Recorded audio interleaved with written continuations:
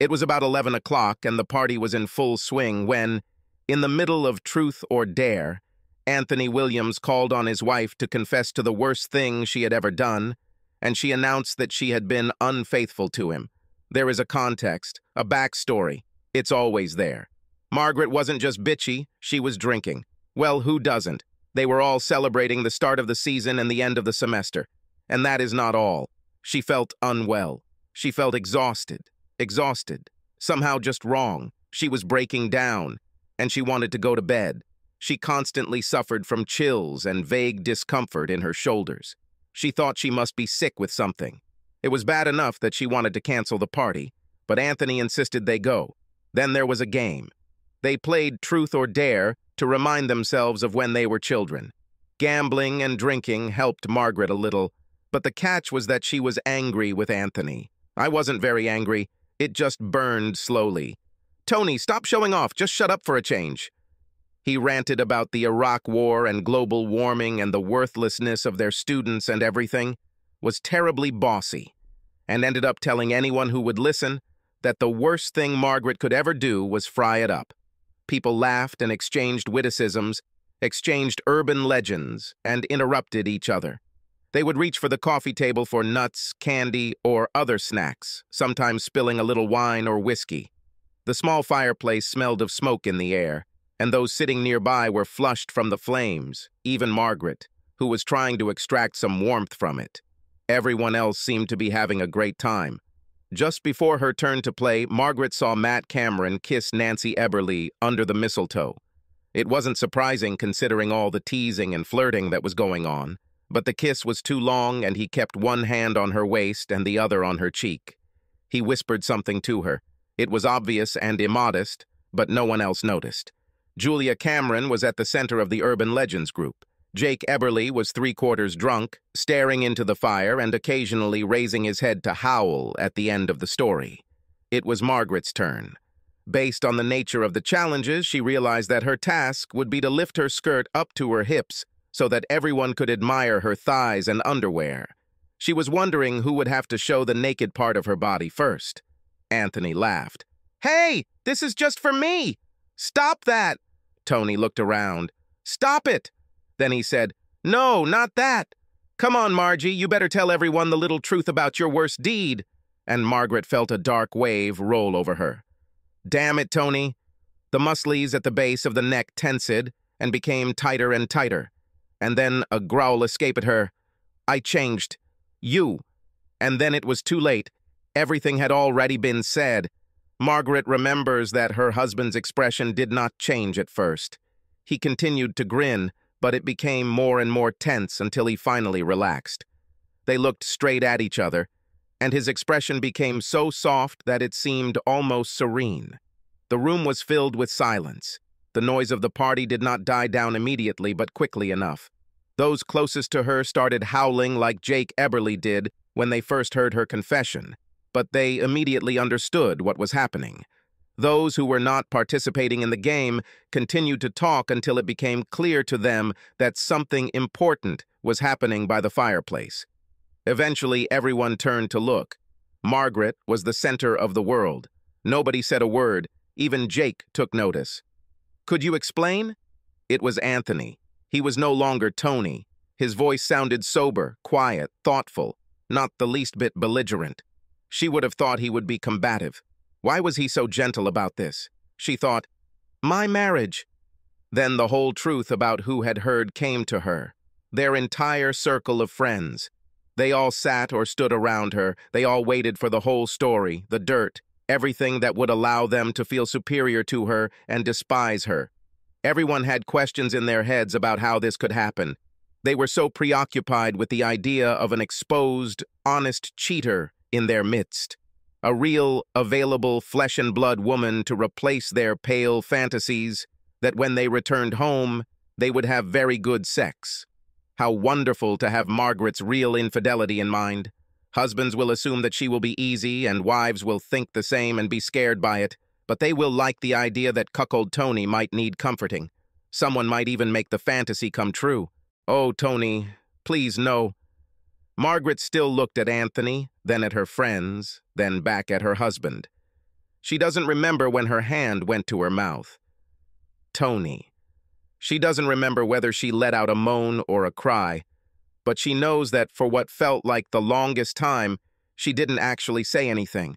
She asked him for forgiveness only with her eyes. Please. She remembers somehow getting to her feet. Please. She remembers looking around and finally saying, I'm sorry, trying to leave the circle without touching anyone, one at a time. I'm sorry, for every person she approached, every person she encountered.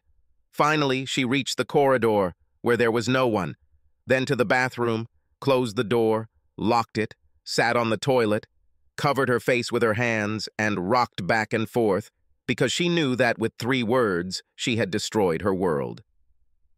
It didn't take long before there was a knock.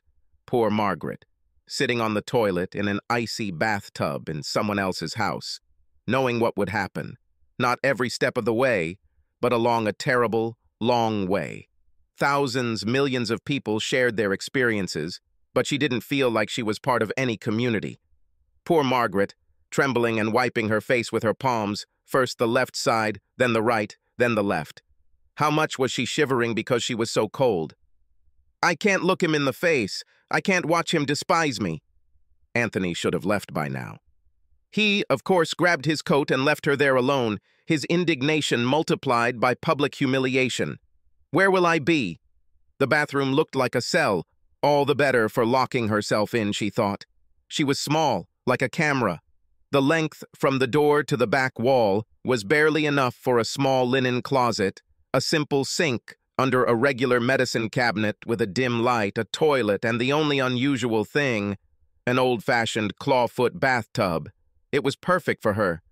The tiny casement window on the back wall had milky white glass, so she was cut off from the world. It was cold there, like a cell. Is it because everything there was laid out with tiles, colorless, black and white, in a checkerboard pattern? So cold, a cold that sucked away all the warmth she had. Margaret hunched over and pressed her arms to her body. Now she was really shaking. She started to have a headache and felt nauseous. She couldn't hear people from here, just mumbles, so she was safe for now. She imagined that she would stay here forever. It would soon be a terribly lonely place. But she didn't deserve better. I made love to him and deceived him. There was no other place for her. Could she bear the cold? Maybe she could wrap a few towels around herself. What happens when other people need to go to the toilet? Another knock. It seemed to be reflected from the tiles. Even sounds hurt her. Sharp sounds ricocheting off the walls. Margaret presses her palms to her temples. There's a pounding in my head. Margie? It was Judith, the owner, her friend. Margaret glanced at the door for a moment and pressed herself closer to it to escape the cold. Again. Margie, Hey, let me in, baby. Judy? Was her voice strong enough to penetrate the door? Get up, Margaret. The distance was only seven feet. But Judith called a third time before Margaret got there. By then she was shivering from the cold, and her arms ached from holding her up. When she opened the door and saw Judith smiling, she rushed towards her, laid her head on her friend's shoulder, and began to cry, bitterly. Judith patted her on the back. She seemed completely calm, as if her friends threw themselves on her neck and cried every evening. Come on, baby, let's wash your face. I'll warm up a washcloth for you. Lock the door. Margaret trembled so much that her voice trembled. What? Please close the door. Trembling voice. I don't want anyone to see me. Everything is fine. Is. Please, close it. This effort took everything Margaret had left. She staggered to the toilet and sat down, and when she did, she fell over on her side with an attack of dizziness or fainting. Certainly, but it's okay. Tony explained everything. It's a joke. Margaret blew into her hands. She rested her hand on the side of the bathtub and leaned over so that the bathtub would stop rocking. Then she turned and gave her friend a look of confusion. This would be funny in a comedy. Pure joke. It takes the heroine a long time to realize what she just heard or Wile E. Coyote runs through the air, delaying his doom through lack of awareness. Margaret didn't find it funny at all. She didn't get the joke, because there was no joke. What do you mean? Judith's expression changed. Ooh! She whistled softly, the kind that mostly men use to signal importance. Well, that explains everything. He has your back, and does a pretty good job, I might add. He's a quick-thinking guy. I don't understand. What are you talking about? What is Tony doing? He explained that you two had prepared your, uh, confession in advance, but you never expected people to take it so seriously, and you had a little too much to drink. You know, bad, bad, bad. People want to apologize to you, but he tells them that you need to be alone for a few minutes. He makes them tell stories about drunk friends. He's back in the spotlight. Margaret still looked like she didn't understand. Finally, she covered her face with her hands again. Nobody will believe it! Well, I was almost fooled. Judith giggled. It sounded sarcastic. In any case, you can deny everything. But, Margaret began and almost stopped, he knows the truth. And that was the real problem. A problem without a solution that had to be pondered over, while Margaret huddled on the toilet, feeling really nauseous. She grabs the seat underneath her to keep it still, lost in memories. That bathroom was different. We did this one afternoon at their house while his kids were home. How could they not notice me? We did it in the shower, copulating under the running water while John's kids watched TV downstairs, less than 45 minutes before Janet was due home. I had to dry myself off and get dressed quickly, then sneak out the side door. My hair was still wet and dripping down my back. All this time I was terrified, scared, and hot. What? I'm sorry. What did you say? Margaret was getting worse and was too tired to stand. I need to lie down. I asked when this happened. Margaret wiped her eyes with a washcloth. She unwrapped it, smeared it all over her face, and inhaled the warmth. It was a long time ago. It started on the night of our 10th anniversary. Oh my God. Looks like you had some serious problems. It wasn't that serious. It was stupid. Tony didn't buy me a present, and he had to cancel our dinner because of a work meeting. I was offended and furious. And you ran into Mr. Sympathetic. More like Professor Magnificent. Please stop pushing. Judith held out her hand and Margaret handed her the washcloth. Judith soaked it in hot tap water, wrung it out, and handed it back to her. Who was that? No need. He's no longer here. Nobody ever found out. Until tonight. However, she could not hide it from herself. She couldn't stop herself from remembering because she was weak from what she caught, and the drink, and what she said. Yes, she remembered. It was such a small thing in the big picture to be upset with your husband. Then she saw handsome John Bowler at a club without his wife, and they started flirting. She thought she shouldn't dance with him, but she did. She knew he shouldn't get so close, but she let him. She was afraid that something would happen, and allowed his hand to first touch her thigh and then take her fingers. When they approached her car, he said, What you need is a good anniversary kiss. He gave her a gentle, almost chaste kiss that went on and on and turned into something completely different. Before he let her go, she knew he was going to take her. And how long did this last? Three months. Three... Oh my God. Judith's eyebrows rose high. She whistled again, it was the exact same whistle that Anthony used. I thought maybe you were going crazy over the weekend. No, I had a blast. Margaret tried to laugh, but it came out as a whimper. I think it was for real. It was so crazy. I know it's a cliche, but that's how it was. Judith asked something else, but the past came back and pushed Judith aside. This made Margaret remember the first time, in John's minivan in the club parking lot. She remembered herself saying, no, we can't. Not here. And John saying, Look. It took several minutes to lower the rear seats. There was a plush sleeping bag. The windows were tinted. It wasn't until a few weeks after he broke up with her that she realized he had made preparations for her or someone else. Are you all right?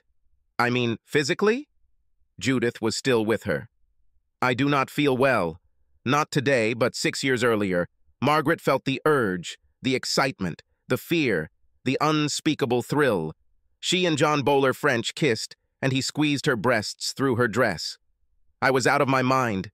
He lowered the dress to my waist and raised it, exposing my legs, caressing me, kissing me, pulled off my underwear, and caressed me, just like my boyfriend did in my senior year.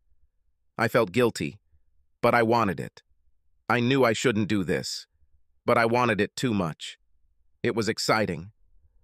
Finally, he pulled down his pants and lay on top, and we made love. My God, why did you let me be so pliable? Why didn't I feel how terrible it was? Sorry, God, it is not your fault. They weren't naked. Her dress was wrinkled at the waist.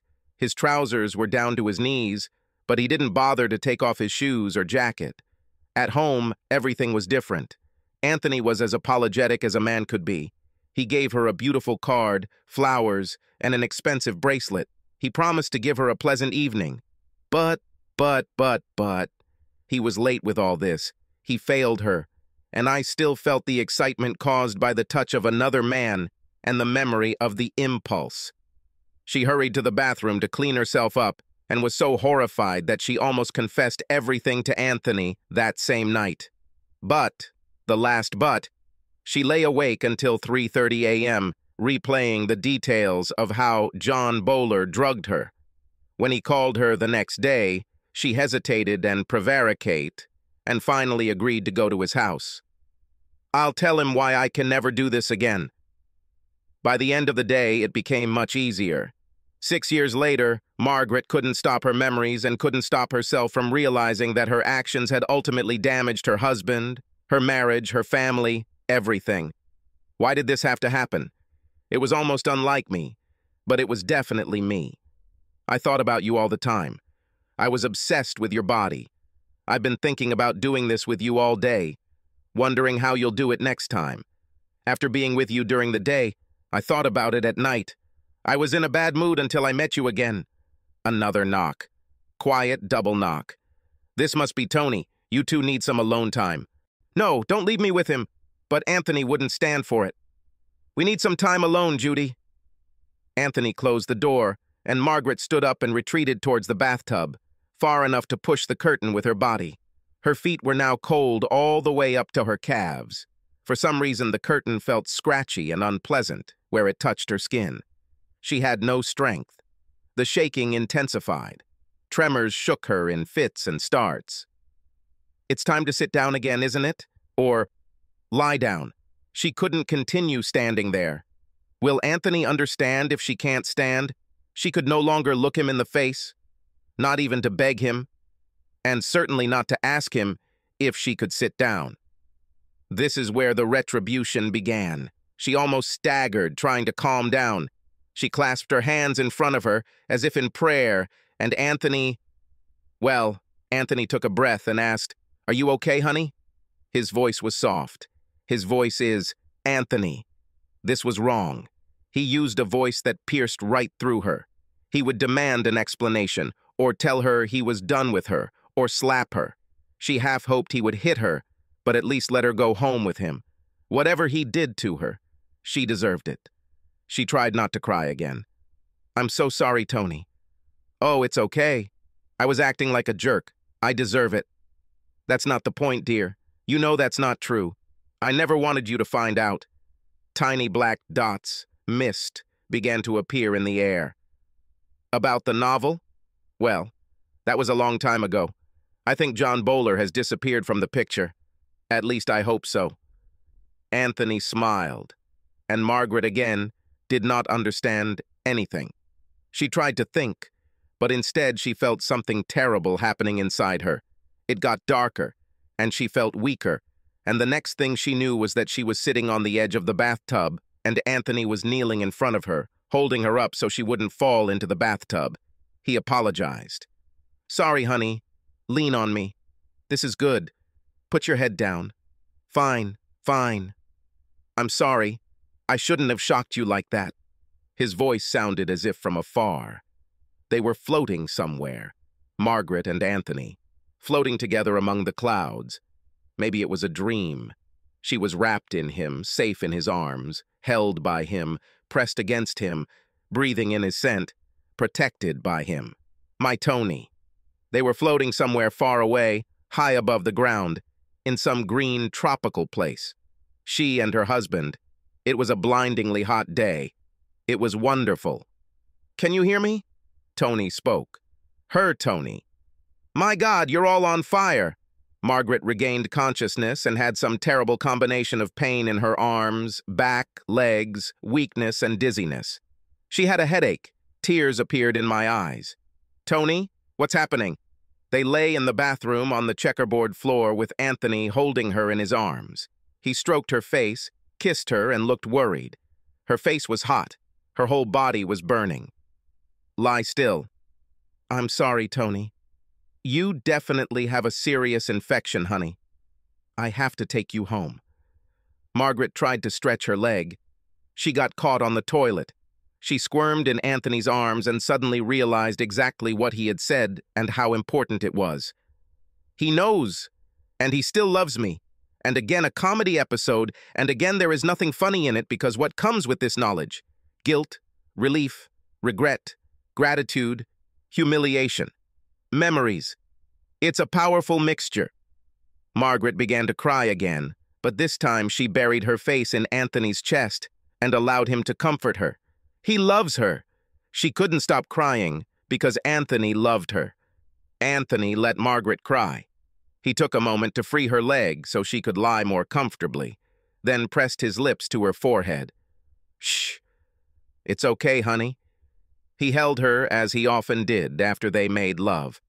When Margaret was finally able to speak, she said, I thought you would hate me. You are my beloved one. Don't worry. Nothing will come between us. She cried a little more, then asked, How long have you known? From the very beginning. No, do not look like that. I don't know exactly when it started, not the day or hour, but I found out a few weeks before it ended. He knew how to keep secrets. It's a pity that I didn't know so much. God, I was an idiot. You haven't even emptied your deleted email folder. I could have told the investigator in advance where you would be so he could get the photographs. Margaret made a sound against Anthony's chest, half scream, half whimper, moan, something like that. Few weeks! Oh, my baby! Anthony simply kissed the top of her head again. Everything is fine. It's in the past. He raised his head and called, Judy, could you get Margie something cold to drink? But you never showed it. I couldn't tell you. I had to decide what to do, and that's in the past. He thought, if you knew how much I hid my hatred for you, you would be horrified. I have never experienced anything like this in my life. Margaret reached out her hand to his face, but she was too shy to really touch him now that she knew he knew. You must have been in so much pain. Yes, and so it was. Sometimes it still comes back. He took her hand and kissed it. And we don't have to discuss it. Anthony tried to help Margaret to her feet, but she became dizzy again, so they returned to the floor. He called Judith and her husband again, and Margaret was lost in her memories again. I thought I was being so careful. I thought that if we had sex every now and then and I gave you a nice show, you'd think everything was okay. There were questions Margaret didn't want to ask, but now she had to. These were the things that she knew would cost Anthony dearly if he ever found out, that she had worried about from time to time over the years. She had to ask him now because he knew all along. How could you stay with me? This was followed by a sigh. Margaret felt it in Anthony's chest as strongly as she heard it. I read the Dear Abby column. The woman asked what she should do with her Don Juan husband, and Abby advised her to decide whether she would be better off with or without him. I followed the advice. Another sigh. A lot of everything. I wanted you. I wanted to hurt you. I wanted what was better for the children. But how could you still love me? Margaret asked the question tremblingly because she was afraid that after all this time he would decide that it was not so. I've always loved you. For a long time I thought it wasn't true. I tried to be practical. Everything changed when I remembered what we were like before, how we once held hands, talked, walked, hugged each other, and played. I remembered the little things you did for me because you were gentle. For some reason you annoyed me. He kissed the top of her head. Why? You took time away from my work. You talked about things that bored me. You didn't do your homework well. Nonsense. We argued over little things, Margie. It wasn't that bad. It was just flat. Why don't you take a look around? All he said out loud was, I missed you and realized that I had lost you, and my only hope was to get you back. Margaret noticed the hesitation in Anthony's voice. She saw that he was looking into nowhere. Towel hanger. Door. You loved me all this time. It was. Even then. She touched his face with her hand, and when she moved, the faintness intensified. Anthony helped Margaret stand again, leaning against him, then slipped his left arm under her knees and lifted her like a child. My poor, my dear, I once thought that since you are so strong, nothing would harm you. The room shook, and then they found themselves in the corridor. Margaret's right arm swung back and forth like a doll's. She didn't hear anyone. I must have broken up the party, she pulled her hand up to Anthony's neck, straining with all the strength she could find, so that her face was on his shoulder. My strong man, she whispered. He smiled. Would you carry me like that if you knew how bad I was? Could you still love me? Could you even bear to touch me? I'll tell you if you ask, but please don't ask. Anthony carried her to a closet at the back of the house. Everything in the room was made of wood, floors, walls, ceilings. For Margaret, it was like a refuge deep in the forest. She was safe with Anthony, he took care of everything. Anthony laid her down on the leather sofa, took a glass of apple juice from Judith, and helped Margaret drink it. Judith placed the fingers of one hand on Anthony's thigh as Margaret stretched. Anthony ignored it. This is much better, Margie. It's much better to be gentle with you than to want to crush you. It would be better if this didn't come up again. At one point, I planned to convert everything into cash and disappear with the twins. When you returned home, we would no longer exist. All you would have are photographs of your affair. But there was another side. Judith left again. I remember what you did. I didn't know why you suddenly became so cute. Margaret's forehead was covered with a fine sweat. Right after it was all over, it was when you took a surprise trip to Blowing Rock, just the two of us, and your mom came over to be with the twins. Yes, part of my plan. I didn't know what I would do if you refused. It was either this or... I don't know. Shrug. He was at a loss for words. I didn't know if it was already too late. So much has changed. When we were first together, you sparkled when you were next to me. This is the word my mother used. Shine. I thought it was stupid, childish. This confused me. But at that time, you didn't shine anymore. What if... She almost stopped herself. What if it hadn't ended then? You were both married. You both had children. I was counting on it. You don't have to know everything. I burst into Bowler's office with copies of the photographs and told him, If you ever see my wife again, I will give this to Janet and spread it all over the university. You call Margaret this minute and tell her that it's all over, that you're tired from this. I could kill that bastard. Well, you were right. He broke up with me. And I was surprised at myself, feeling sorry for you, for how sad you had become. I thought I'd bask in the glow of your broken heart but this was my chance to get back into the game. All Anthony said was, he was an asshole. As Anthony helped her to her feet, her face burned, her body burned, energy flowing out onto the floor. How could you trust me again? It just took time. I was grading a test, and you leaned over the chair to kiss the top of my head. You asked if we should go to bed? That's when I realized that you wanted me again. Maybe I could tell you this. I've also been messing around with your laptop for over two years. I still do this from time to time. I will never tell you this. Margaret raised her head as if about to say something. Then, trying to shake off the nauseating memories of John, she stumbled out of the office, across the hall, covering her mouth, back into the bathroom, where she began to vomit. Anthony followed her and brushed her hair aside. When Judith looked in, he said, I'm sure it's the flu. They waited until she vomited. Then carefully, very carefully, they helped her to the car, half carrying Margaret, who felt a sour taste in her mouth. The next day, Margaret lay in bed at home, sweating and wheezing, still dizzy, nauseous, guilty, and unhappy.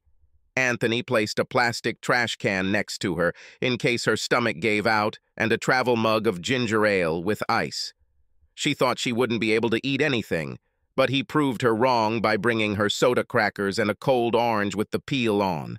Tony placed them on the table. Margaret grabbed him around the waist and held on to him as if she was drowning. I love you so much. She was crying again. Maybe it was weakness due to the flu. Maybe it was a relief that a weight had been lifted from her. Maybe it was love. I promised myself that I would never do anything like that again. I promise I will never hurt you again. I love you too, honey and I know that you love me. You started being nice to me. I thought you loved me again, but it didn't happen right away. Then one day I caught you off guard in your office during lunch break and you beamed. Anthony removed her hands and put her back to bed. Her eyes were still feverish. He took her temperature, then kissed her. No need. You'll get infected. Then you can court me.